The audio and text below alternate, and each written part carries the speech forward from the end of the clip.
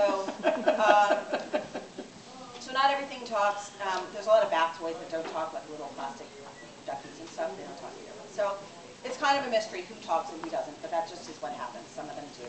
And this new walrus comes, and, and the girl can't love him.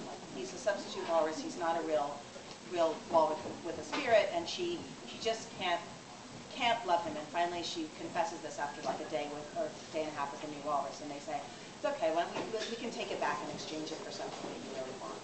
So they go back to the toy store, and the girl brings Stingray with her. And Stingray is, so Stingray is in the toy store, which is a very strange place to be when you are a toy, because Stingray has never been in a toy store. She was shipped directly from the factory to the girl. Um,